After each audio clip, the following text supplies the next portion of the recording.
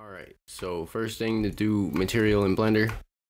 So first off, I'm going to teach you how to create all the materials and then how to export it as OBJ and how to edit it.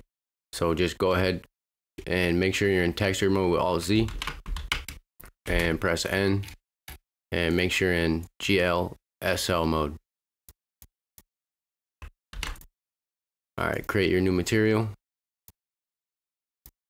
Add a texture. We're going to add our normal map first. Copy and paste the name. Now, the order of this matters. So if you have the normal map underneath the texture, um, that's the way you're supposed to do it. But if you have it above it, it won't affect the texture. It's like in order. So the next thing we do is go to sampling, select normal map, deselect color, and select normal.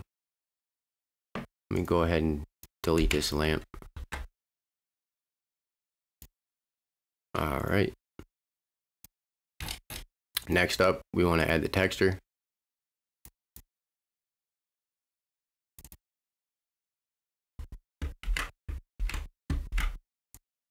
And next up, we can add an occlusion map. Go down to here, select color, set it to multiply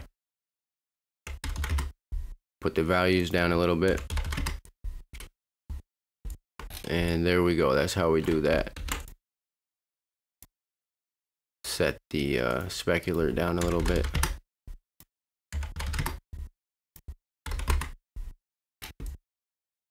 All right.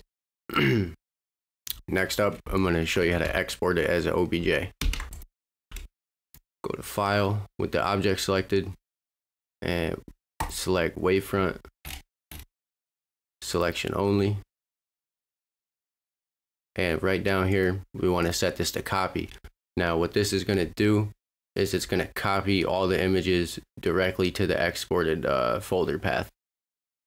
Then you can just pack them up, but it's always got to be there. So the file paths, you won't have to worry about it. So I'm going to go ahead and export that.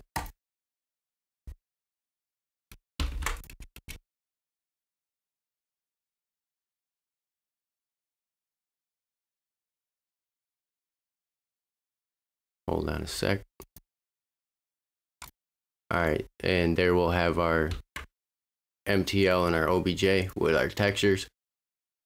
Go to edit the MTL, and that's where all that code will come in handy. So right here we have our first material name, and then all the information that goes with it.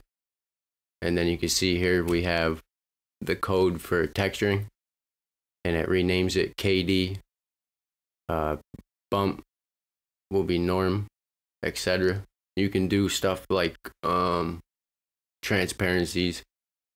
Uh, you're gonna have to edit these once in a while though. It's a pain in the butt. So I'm gonna go in and we're gonna test it.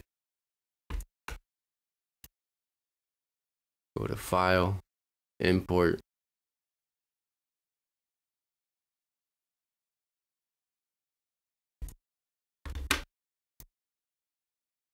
So our normal worked.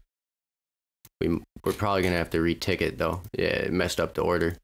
That's where the editing comes in handy. But Blender doesn't export it correctly ever, so you're always going to have to edit it probably. And it really can't store all the information. You have to retick it depending on what engine you're in. And reset everything up. But there we go. That's how you do it. I hope that helps you. Later, man.